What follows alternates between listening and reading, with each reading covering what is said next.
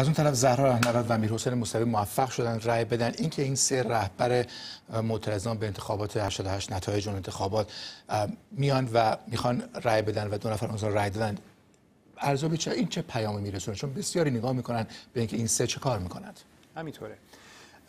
ببینید اگر بخوایم از یک مقطعی نگاه کنیم به انتخابات در جمهوری اسلامی اگر فرض کنیم از زمانی که آقای خامنه ای به رهبری رسید به این بر نگاه کنیم اکثر انتخاب ها انتخابات ها درسته که به گفته منتقدان آزاد یا منصفانه نبوده.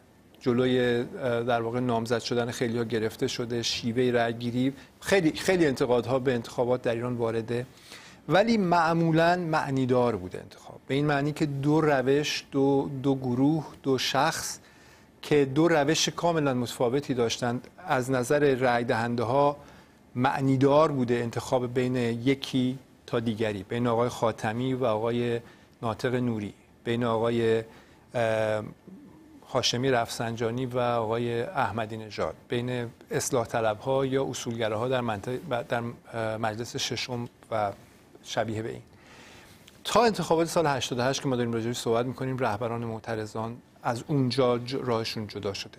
در اون انتخابات بخش قابل توجهی از رای دهنده ها اونا که معترض بودن به اضافه رهبرانشون احساسشون این بود که معنا هم از این انتخابات گرفته شده. به این معنی که یک کسانی رفتن به یک کسی رای دادن ولی رایشون به درستی محاسبه نشده. ابهاماتی هست در مورد اینکه آیا این نتیجه که نهایتا اعلام شد نتیجه واقعی بود یا نه.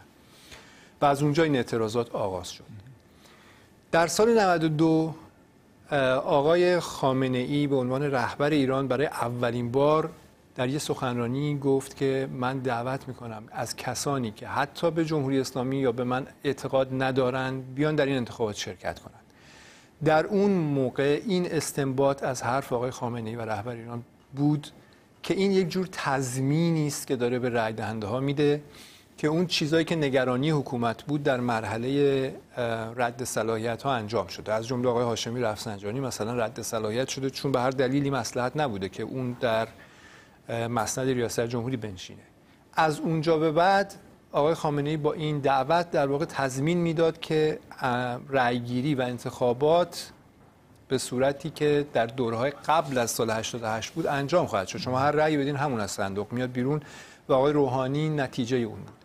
امسال به نظر میاد که رهبران معترضان این روند رو پذیرفتن که به همین شکل انجام میشه. یعنی با توجه به تجربه انتخابات سال 92 پذیرفتن رهبران معترضان که حکومت برگشته به شیوهی که پیش از سال 88 عمل می‌کرد. البته ما می‌دونیم حکومت خودش قبول نداره که در سال 88 متفاوت عمل کرده. ولی ما به از نگاه معترضان سال 88 وقتی نگاه کنین اونها هم پذیرفتن که حکومت برگشته به برگزاری انتخاباتی که ممکنه آزاد یا منصفانه نباشه. ولی معنیدار هست. یعنی دو انتخاب پیش, پیش پای رای دهنده ها هست و اونا می‌تونن بین اون دو تا انتخاب. متشکرم از امید امید پارسا نژاد.